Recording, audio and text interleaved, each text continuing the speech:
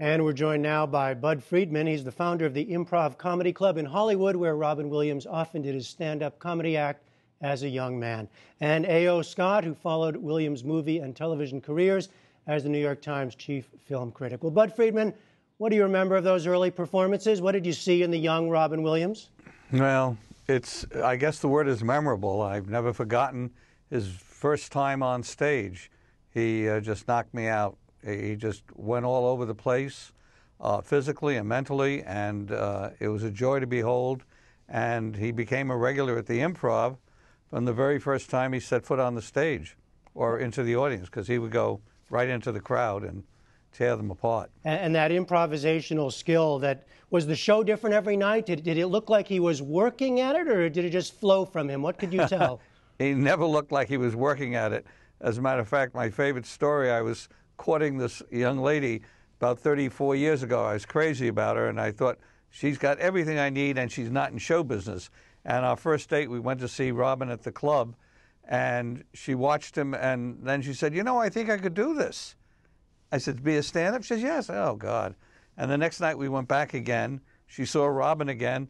Then she turned to me and very wisely, my wife Alex, then became my wife, said, "Maybe I can't do this," because she realized he made it look so easy. He was having so much fun up there that he thought anyone could do it, but obviously not. Tony Scott, uh, he, you know, he's a man of many voices and characters all at once, it seemed, and yet he evolved into an actor who could take on a role and create a character. How did he do that?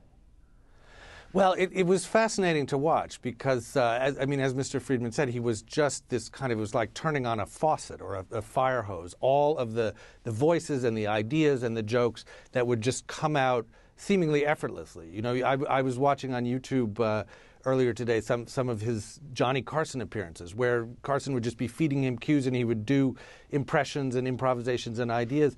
I think what you see in some of his serious roles, um, including some very, very dark ones, like playing a, a killer in Insomnia with, uh, with Al Pacino, um, or, or a, a, serious, sensitive role uh, like the psychiatrist in Good Will Hunting, is that you feel some of that exuberance and some of that manic energy being held in check. So you feel like the person that you're watching, the character that he's playing, but also the actor himself, has this enormous energy, this, this enormous vitality and liveliness that is just under the surface. And you never know from scene to scene whether it's gonna it's gonna peek out or it's gonna pop out. So part of the the the pleasure of watching him in those more serious, more restrained roles is that feeling um, of that spirit in there that could burst out at any time. You, you also wrote in your appreciation today he often played sly, sad, or surprising versions of himself but he was rarely arch or insincere.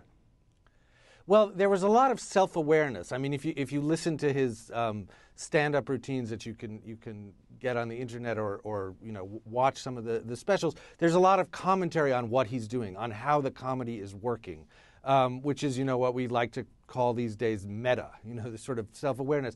But it was never cynical, it was never arch, there was never any distance um, from, from the material. He, there was a kind of exuberance and sweetness and generosity always in, in, in what he was doing. He was just, when you watched him performing, you got the sense of someone just who was having fun and was inviting you to have fun along along with him. So it wasn't, you know, it wasn't a kind of a, a, a, a satirical or a or a or a pointed or a harsh kind of humor. Um, it was just he had all of this all of this energy, all of these voices, all of this inventiveness um, that he he almost couldn't help but share. Well, well, Budd Friedman. Speaking of how he did it, I mean, you you you've watched a million comedians, I guess. Um, what do the great ones have? What, what did well, what did he have?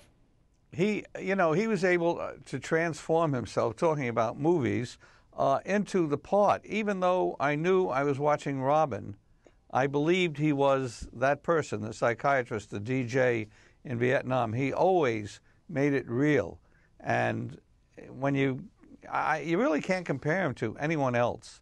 Uh, for the perhaps the improvisational skills of Jonathan Winters, who was his uh, mentor, his idol.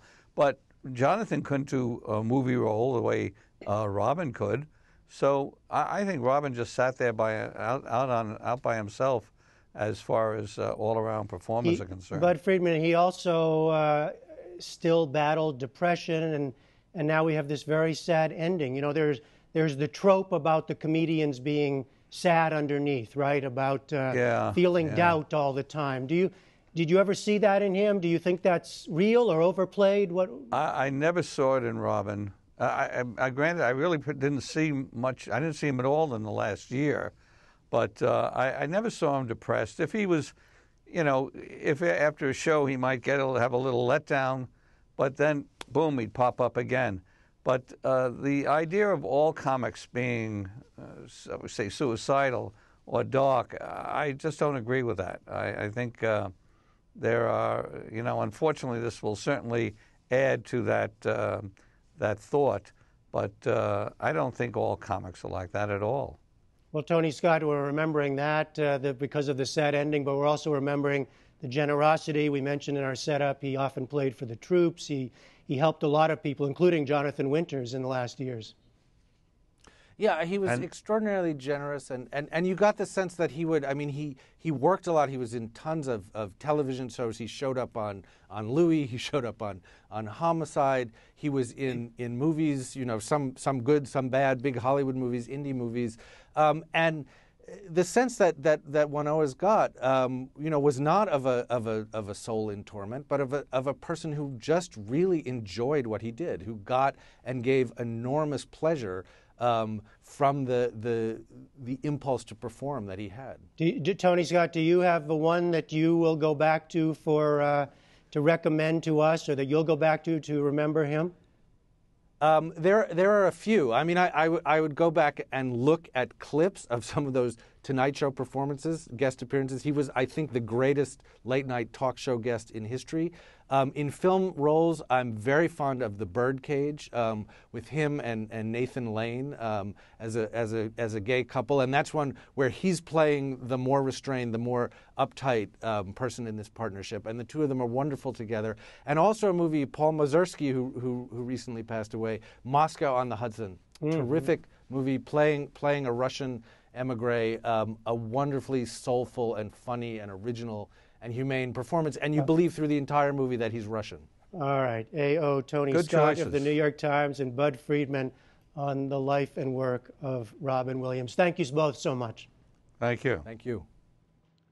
A real loss. We've listed Robin Williams' entire filmography in the order they were ranked by movie lovers. See if you agree, and then let us know your top 10 on our Art, Artbeat page.